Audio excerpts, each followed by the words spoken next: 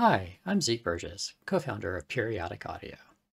I got into audio product development about seven years ago when Dan hired me to be part of his team to build a augmented reality hearing product. Since then, he and I have worked together at several places and have made microphones and headphones and speakers and all sorts of other electronic gadgets. And um, about four years ago, we decided that it would be interesting to try to build a brand around the idea of portable hi-fi and at an affordable price. And that's kind of the genesis of periodic audio.